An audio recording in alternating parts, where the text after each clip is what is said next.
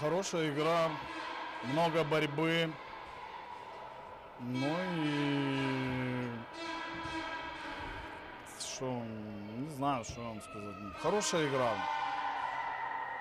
Як можете прокоментувати, звичайно, що можливо так десь некоректне питання з боку суперника. Ось е, перша шайба е, пропущена Донбасом, так дії Богдана Дяченка. Я запитав у Сергія Вітера. Він, звичайно, що на це питання не відповів. Просто мені цікаво, я особисто таких е, шайб у хокеї не бачив. Що там сталося, і як можете ви, як нещодавно діючий хокеїст, прокоментувати цей епізод, чому воротар так зіграв? Ну, ошибка вратаря э, сыграть в поле и э, э, совершил ошибку. Н- Ничего тут такого нету. Вратарь такой же игрок, как и все.